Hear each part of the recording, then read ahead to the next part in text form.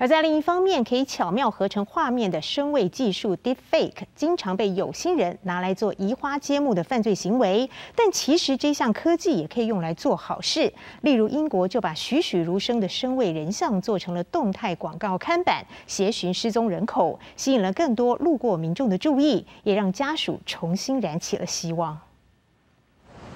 伦敦街头的大幅广告看板上，一名少女微笑地看着过往的行人。虽然天色阴暗，下着雨，还是有人停下脚步，注意看板内容。We stood there for over an hour. At least eighty percent of people looked up, and that's all you could ask for. 看板上的少女是克莱尔的女儿，她在二零一九年十九岁时无故失踪，家人找了她三年多，就是音讯全无。后来他们决定采用声位技术制作谐讯广告，希望获得更多人的关注。We might only get a second or two to kind of capture someone's attention and get them orientated towards our message. So making them more active rather than passive is going to be really important.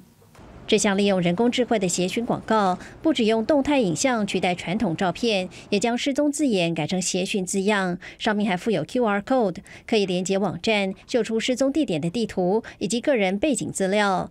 看到广告上栩栩如生的画面，克莱尔感觉女儿仿佛已经回到身边，内心相当激动。而新科技合成的动态影像，也更能打动路人的心。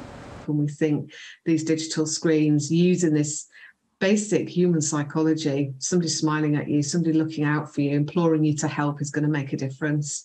英国每年有七万名孩童列为失踪人口。虽然多数人在四十八小时内会回家，但有些家长就是盼不到孩子平安归来。采用声位技术的协讯广告，让家长重燃希望。专家也认为，将比传统广告更有效果。国视新闻曾慧敏编译。